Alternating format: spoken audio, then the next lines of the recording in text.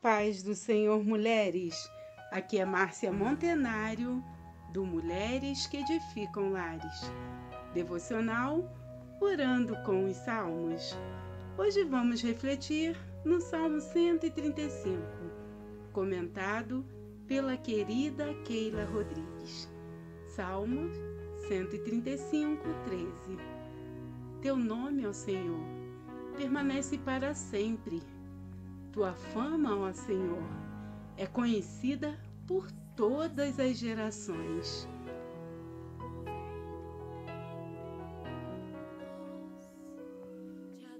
Todas nós, em algum momento da vida, já nos preocupamos com o nosso peso, ou para mais ou para menos, principalmente após uma gravidez.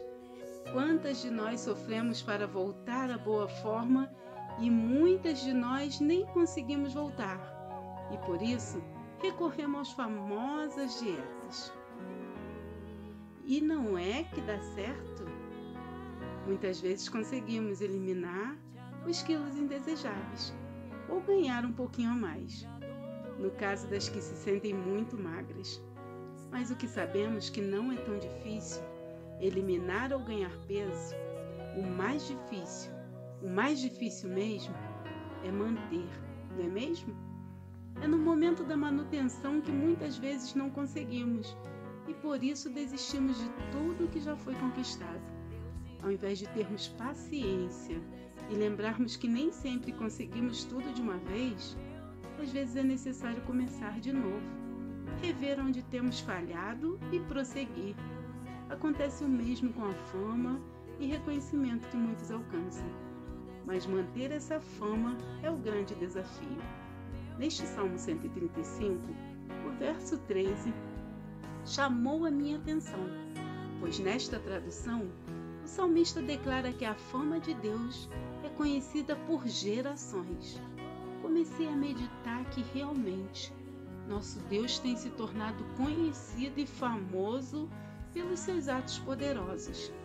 Desde que livrou o povo do Egito Raabe declara isso aos espias enviados a Jericó, sobre os feitos de Deus. Quando ouvimos essas coisas, perdemos a coragem e todos nós ficamos com muito medo por causa de vocês. O Deus de vocês, o Senhor, é Deus lá em cima no céu e aqui embaixo na terra. Deus já era conhecido por outras nações como Deus da terra e dos céus. Aleluia! E até hoje, o poder, a majestade e grandeza deste Deus tem sido cada vez mais confirmada e conhecida. Ele se mantém no trono desde sempre e eternamente. A alegria do salmista em declarar: Teu nome, ó Senhor, permanece para sempre. Tua fama, ó Senhor, é conhecida por todas as gerações. Temos razões para nos alegrarmos, pois o nome do nosso Deus tem se estabelecido perpetuamente, de geração em geração. E a grandeza dele está também em sua compaixão por nós. O Senhor julga o seu povo e se compadece dos seus servos.